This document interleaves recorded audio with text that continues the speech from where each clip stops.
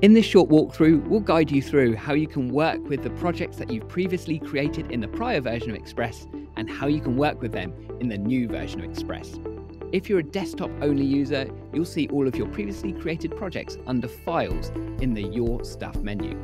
Clicking any of those files triggers this conversion message, meaning that you can work with this project in the new version of Express. You can continue to edit, adjust, and work with that project as you would expect.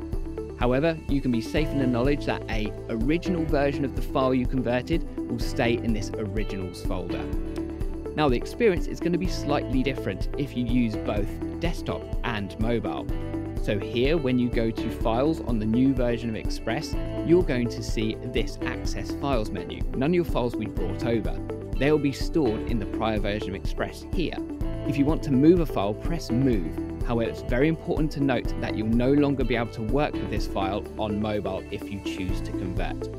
If you're happy with this and want to convert for desktop, press this button that will again trigger this conversion, which will allow you to then work with this project in the new version of Express, continuing to change, amend, and remix this project as you see fit.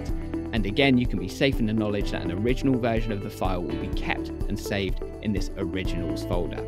With that, that's how you can work with the previous versions of your projects in Adobe Express.